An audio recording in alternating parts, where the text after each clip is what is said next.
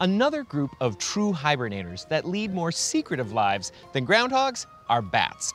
With over 18 different bat kinds that include 1,000 species, bats are one of the most diverse mammal groups on Earth. In North America here, we have 44 species, and today we get the opportunity to see one of them up close here at the Leslie Science and Nature Center. So this is a big brown bat. They live all across the United States and southern Canada and down into Central and South America.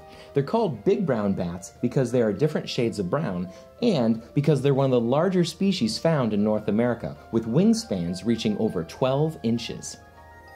They'll eat moths, flies, mosquitoes, and even wasps, and they love beetles, which they crunch into with their strong jaws and sharp teeth.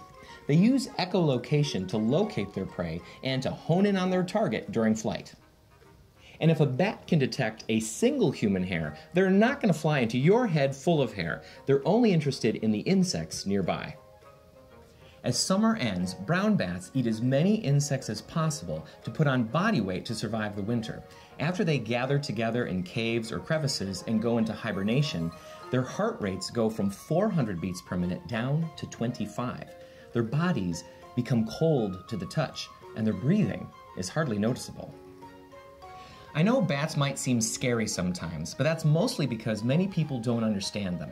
Bats are amazing creatures and they serve a very important role in keeping insect populations, like mosquitoes, in check. One bat can eat up to 8,000 insects in one night. Yes, bats are our friends.